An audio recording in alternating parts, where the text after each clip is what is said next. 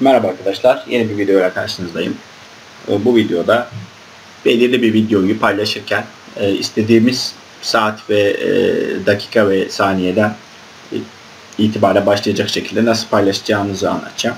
İkinci olarak da videolara yorum yaparken dikkatinizi çekmiştir bazı kullanıcılar böyle dakika ve saniye içerisinde bir link veriyor ve o linke tıkladığında otomatikman videonun e, o bölümüne gidiyor. Bunu nasıl yapacağınızı göstereceğim. Bu iki özellikle e, videomuzu tamamlayacağız. Hemen ilk paylaşımdan başlayalım. Örneğin at tanımlama ile ilgili örnek eklemiş olduğumuz videoyu çalıştıralım. Belirli bir süre e, artsın video. Mesela 45. saniye geldi. Buradan itibaren paylaşmak istiyorum. Paylaşa tıkladığımda e, paylaşma zamanı diye bir özellik var. Bunu işaretlediğim zaman e, durdurduk videoyu. Mesela 55. saniye, 56. saniye. 56. saniyeden itibaren e, oynatmaya başlayacak. Hemen paylaşma özelliklerinden hangisini istiyorsanız onunla paylaşabilirsiniz. Veya embed kodu neyse buradan kendiniz paylaşabilirsiniz. Linki kopyaladım. İsterseniz kopyala yapıştırla da paylaşabilirsiniz. Mesela yeni bir adreste yapıştır ve git diyorum. 56. saniye zaten linke dikkat ederseniz eşittir 56 diyor. 56. Ee, saniyeden itibaren bu video oynatılmaya başlayacak. Ee, paylaşımda da link verdiğiniz için YouTube, Twitter nereden paylaşıyorsanız zaten o linkte bunun aynısı olacak ve videonuz gördüğünüz gibi 56 saniyeden başlayarak oynatılmaya devam edecek.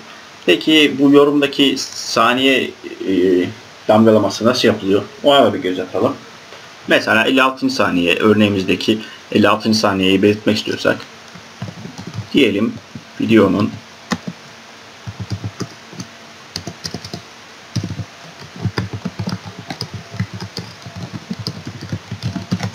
Örneğin 00 2.56 yazdım.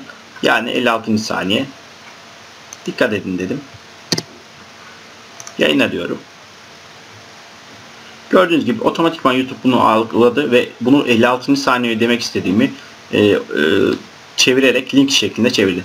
Yani herhangi bir ekstradan bir kod yazmanıza gerek yok. Sadece e, sani, dakika saniye veya saat dakika saniye formatında yazmanız yeterli. Saatlik bir video yazarken de tabii ki bir tane daha yazacağız. Diyeceğiz ki mesela birinci saatin işte üçüncü dakikasının işte 10. saniyesi örnek.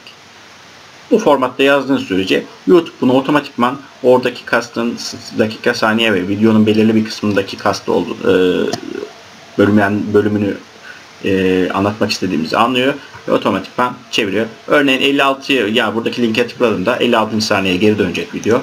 Hemen tıklıyorum. Gördüğünüz gibi 56. saniye geri döndü. E, dakika ile ilgili ve saniyeleme ile ilgili YouTube'daki e, anlatacaklarımız bu kadar. Bir sonraki videoda görüşmek üzere. Şimdilik, şimdilik hoşçakalın.